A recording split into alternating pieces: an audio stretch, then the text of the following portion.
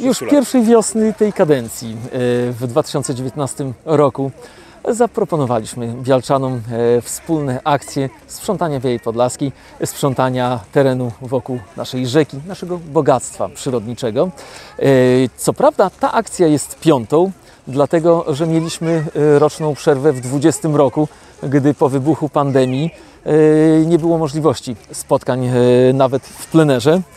E, więc spotykamy się de facto po raz piąty i dwie ostatnie edycje są organizowane w szczególności dla młodzieży. Są otwarte, ale jak wszyscy wiemy, dzisiaj e, mamy e, czwarty e, dzień tygodnia, to także pewna zachęta i mobilizacja, by najmłodsi mieszkańcy Białej Podlaskiej kojarzyli takie akcje, które mają ten nietrudny do przecenienia walor edukacyjny, proekologiczny, świadomości odpowiedzialności naszej wspólnej za naturalne środowisko, żeby im się pozytywnie kojarzyły. Zrobiliśmy jeszcze jedną fajną rzecz, e, w zasadzie już e, po raz drugi, to znaczy zadbaliśmy o to, by e, nasi hojni szczodrzy, sponsorzy umożliwili nam ufundowanie kapitalnych nagród. W ten sposób dzisiaj i jako nagrody w konkursach, i w ramach loterii wśród uczestników, a zgłosiło 700 dzieciaków z wielu bialskich szkół, trafi, trafi do nich e, 20 rowerów, e, kilkanaście hulajnóg i mnóstwo fajnych, e,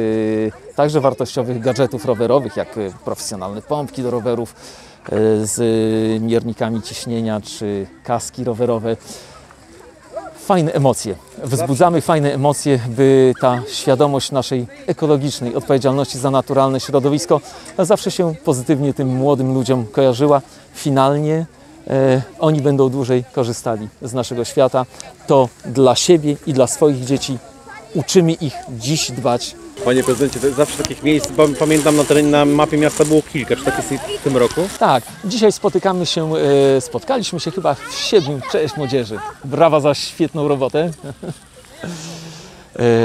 W siedmiu bodajże miejscach e, ekipy z różnych szkół podzieliły je między siebie, ale wszyscy stopniowo zmierzamy do Wodopólko, gdzie jest przygotowany ten integracyjny piknik, e, gdzie, jeszcze raz to podkreślę z satysfakcją, e, w konkursach jako nagrody oraz w ramach loterii e, e, zostaną dzieciakom wręczone bardzo atrakcyjne rowery. W końcu jesteśmy rowerową stolicą Polski. To też piękne, proekologiczne i przyjazne naturze skojarzenie.